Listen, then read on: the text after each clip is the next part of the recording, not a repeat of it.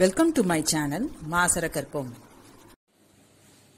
chapter seven sets relations and functions முதல்ல செட்ஸ்னா என்னன்னு தெரிஞ்சுப்போம். செட் வந்து ஒரு collection of well defined objects நமக்கு நல்ல தெரிஞ்ச ஒரு கலெக்ஷன் தான் செட் இப்போ இது set of all vowels A is set of all vowels அப்போ ஒரு செட் பிராக்கெட்டுக்குள்ள அது எழுதியிருக்கணும். இந்த கேர்லி பிராக்கெட்டுக்குள்ள அதை எழுதியிருக்கணும். ஏ இ ஐ ஓ ஒரு ஒரு எலிமெண்ட்டுக்கும் நடுவில் ஒரு கமா போட்டிருக்கணும். இந்த மாதிரி எழுதுனா A belongs to this set A இந்த ஸ்மால் ஏ வந்து இந்த செட் செட் எப்பொழுதுமே கேபிட்டல் லெட்டர்ஸ் இந்த கேபிட்டல் ஏ செட்ல வந்து ஏ வந்து ஒரு element A belongs to A சொல்லலாம் இல்ல A is an element of ஏன்னு எழுதலாம். இந்த கணத்துல இந்த கணத்தோட உறுப்பு வந்து ஏ இப்படி போட்டு அடிச்சிருந்தாங்கன்னா is not an element of A அடுத்தது சப்செட் சப்செட்னா ஒரு பெரிய செட்ல இருந்து எடுத்து எழுதுற ஒரு குட்டி செட் வந்து சப்செட் ஆஃப் அ செட் இப்ப B is equal to A comma E அந்த செட்டா இருந்துச்சுன்னா பி வந்து சப்செட் ஆஃப் ஏ இந்த மாதிரி ஒரு சிம்பிள் போட்டிருக்கணும். B subset of A C இந்த மாதிரி போடுறதுக்கு எப்படி வாசிக்கணும்னா சப்செட்னு வாசிக்கணும். நல் செட்னா அதுக்குள்ள எந்த ஒரு எலிமெண்ட்ஸும் இருக்காது. அதை வந்து இப்படி டினோட் பண்ணலாம். ரெண்டு பிராக்கெட் போட்டு அதுக்குள்ள ஒரு எலிமெண்ட்டும் இருக்காது. ஆர் ஃபைவ் அந்த ஜீரோ போட்டு அடிச்சிருக்கேன் அது ஃபைவ்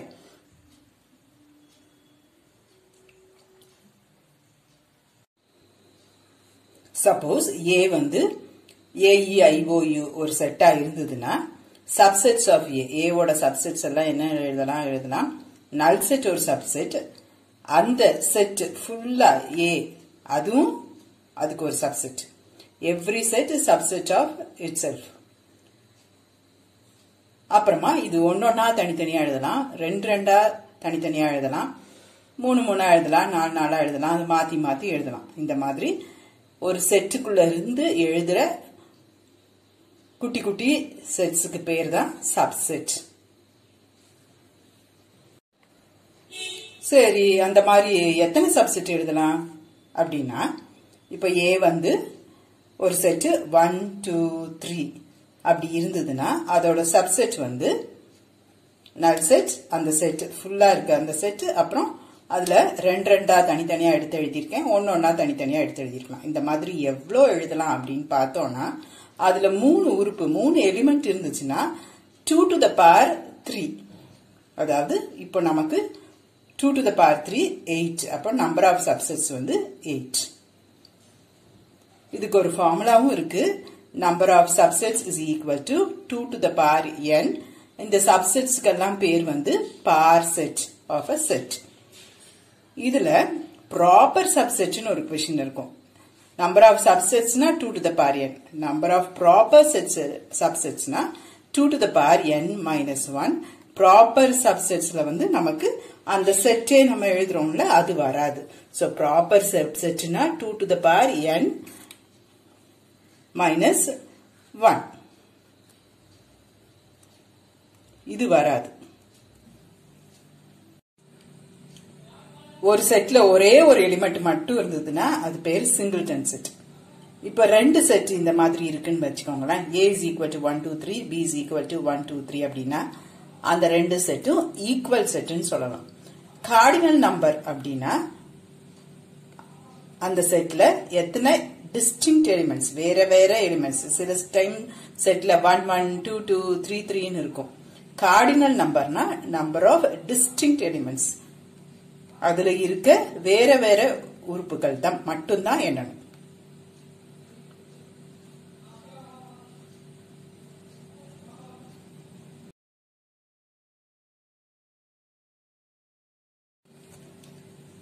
டிஸ்ஜாயிண்ட் செட்னா ரெண்டு செட்டுமே வேற வேற இருக்கும் தனித்தனியா இருக்கும். அது ரெண்டுக்கும் காமனா எதுவுமே இருக்காது. ஈக்குவல் செட் பார்த்தோம்ல அதே மாதிரி ஈக்குவலண்ட் செட்டும் ஒன்று இருக்கு.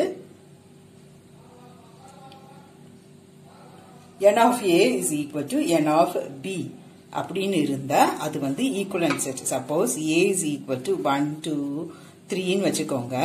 B is equal to ABC இப்படி இருந்ததுன்னா என் ஆஃப் ஏ இதுல எத்தனை என்ட்ரிஸ் இருக்கு? மூணு. இதுலயும் மூணு இருக்கு. அப்ப இது ரெண்டோட உறுப்புகளின் எண்ணிக்கை தான் சேமா இருக்கு. நம்பர் ஆஃப் எலிமெண்ட்ஸ் தான் சேமா இருக்கு. அப்ப அதுக்கு பேர் ஈக்குவலன் செட் ரெண்டு செட்டும் சேமா இருக்கணும்னா அதுல இருக்க என்ட்ரிஸ் எல்லாமே ஈக்குவலா இருந்தாதான் நம்ம அந்த செட்டை ஈக்குவல் செட்டுன்னு சொல்லுவோம். அப்போ ஈக்குவல் செட்ஸ் வந்து ஈக்குவேலண்ட் ஆனால் ஈக்குவேலண்ட் செட் வந்து ஈக்குவலாக இருக்கணும் கிடையாது.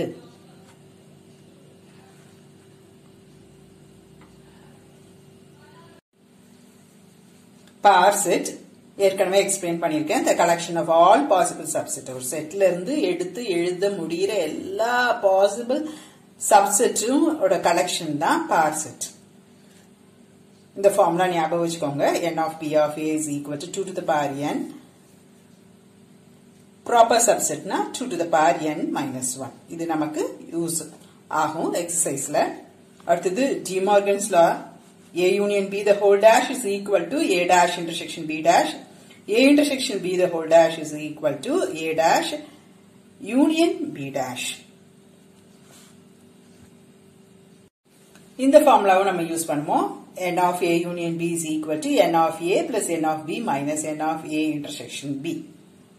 N of a intersection b வந்து aவும் bயும் disjoint இருந்ததுன்னா ஜீரோ இது ரெண்டுக்கும் காமனா எதுவுமே இல்ல இல்ல அப்ப a intersection b ஏ இல்ல. அப்ப n of a intersection b என்னவா இருக்கும்? ஜீரோ யூனியன் இன்டர்செக்ஷன் தெரிஞ்சுக்கணும். இப்போ a வந்து இந்த set one two three four B வந்து four five six seven for example A union பினா எல்லாமே ஒரு தடவை எழுதணும். One two three four five six seven இன்டர்செக்ஷன்னா இது ரெண்டுலயும் காமனாக இருக்க எலிமெண்ட் மட்டும் எழுதணும். ஸோ ஏ இன்டர்செக்ஷன் பி வந்து ஃபோர் இது ரெண்டுமே செட்டு தான். அதனால செட் பிராக்கெட்டுக்குள்ள அதோட எலிமெண்ட்ஸ் எல்லாம் எழுதியிருக்கணும். இது தெரிஞ்சுக்கோங்க. For three sets ABC n of a union b union c is equal to n of a plus n of b plus n of c minus n of a intersection b minus n of b intersection c minus n of c intersection a plus n of a intersection b intersection c suppose A வந்து ஒரு set one two three B வந்து four five அப்படின்னா product set AB வந்து one four one into four இல்ல set order pairs bracket. One four one five two four two five three four three five A cross B அப்படின்னா first A அடுத்தது B இதுவே B A ஏனா first B element அப்புறம் A element எழுதியிருக்கணும்.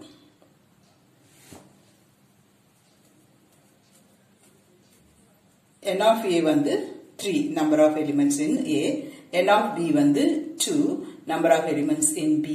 அப்ப n of a cross b வந்து மொத்தமா நமக்கு இங்க எவ்வளவு வந்திருக்கு? 6 இது ரெண்டையும் மல்டிப்ளை பண்ணா வர்றது தான் ஆன்சர்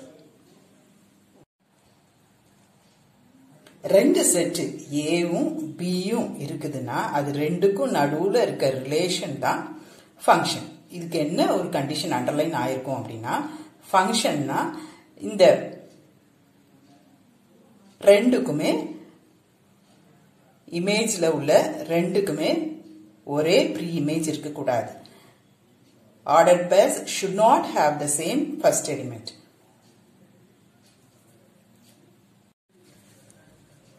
பாருங்க இப்ப ஏ ஒரு செட் பி ஒரு செட் இது ரெண்டுக்கும் உள்ள ரிலேஷன் ஏல வந்து ஏபிசி எலிமெண்ட்ஸ் இருக்கு. இங்கே ஒன் டூ த்ரீ இப்ப நான் வந்து A mapped to one A to two அப்போ நம்ம ஆர்டர் பேஸ் எழுதும் போது என்ன எழுதுவேன்? A comma one A comma two இந்த மாதிரி இருக்கக்கூடாது. இது ரெண்டுக்கும் சேம் ஃபர்ஸ்ட் எலிமெண்ட் இருக்குல்ல இந்த மாதிரி இருக்கக்கூடாது. இந்த மாதிரி இருந்தா இது நாட் அ ஃபங்க்ஷன் இது மாதிரி இருக்கணும் செகண்ட் எலிமெண்ட் சேமா இருக்கலாம். வேற வேறையாகவும் இருக்கலாம். உங்களுக்கு ஒன்னே ஒன்னு தெரிஞ்சுக்க வேண்டியது ஆர்டர் பேஸ்ல ஃபர்ஸ்ட் எலிமெண்ட் சேமா இருக்கக்கூடாது. இது தெரிஞ்சுக்கணும். F function define from A to பினா இது ஃபுல்லா டொமைன் இது ஃபுல்லா கோடமைன் சப்போஸ் ஒரு function F of X is equal to X ஸ்கொயர்டுன்னு define ஆகி இது வந்து from set A to B யா இருந்ததுன்னா இங்க வந்து example one two three four five six etcetera ten வரைக்கும் இருக்கு. இங்கே வந்து one two three four etcetera hundred வரைக்கும் இருக்கு அப்படின்னா இதோட டொமைன் வந்து என்னது? நான் என்ன சொன்னேன்? டொமைன் வந்து இது. அப்போ one two three four five six seven eight nine ten இது ஃபுல்லாக டொமைன் கோடமைன் என்னது? One two three four five six seven eight etcetera up to hundred வந்து கோடமைன் இது ஃபுல்லாக டொமைன் இது ஃபுல்லாக கோடமைன் அடுத்தது ரேஞ்சுன்னு ஒன்று உங்களுக்கு என்னன்னு தெரிஞ்சுக்கணும். ஃபங்க்ஷன் வந்து F of X is equal to X square இங்க இருக்க எக்ஸ் வந்து இங்கே எக்ஸ் ஸ்கொயருக்கு போகும். அப்போ ஒன் வந்து ஒன் ஸ்கொயருக்கு மேப் ஆகும். டூ வந்து டூ ஸ்கொயர் தட் இஸ் ஃபோருக்கு மேப் ஆகும். த்ரீ வந்து த்ரீ ஸ்கொயர் நைன் ஃபோர் வந்து ஃபோர் ஸ்கொயர் சிக்ஸ்டீன் அப்படியே டென் வந்து டென் ஸ்கொயர் ஹண்ட்ரட் அப்போ அது வந்து என்னது? Range next type of relations இதை பேஸ் பண்ணி நமக்கு கொஸ்டின்ஸ் இருக்கும். ஸோ தெரிஞ்சுக்கோங்க. ரிஃப்ளெக்சிவ் சிமெட்ரிக் டிரான்சிட்டிவ் ரிஃப்ளெக்சிவ்னா related to itself reflection மாதிரி. சிமெட்ரிக்னா A B A related to B அப்படின்னா பி ரிலேட்டட் டு ஏவா இருக்கும். டிரான்சிட்டிவ்னா A related to B B related to சியா இருந்ததுன்னா ஏ ரிலேட்டட் டு சியா இருக்கும். ஸோ டைப்ஸ் வந்து ரிஃப்ளெக்சிவ் சிமெட்ரிக் டிரான்சிட்டிவ் இது மூணுமே ஹோல்ட் ஆயிருந்துச்சுன்னா அதுக்கு பேரு வந்து ஈக்குவலன்ஸ்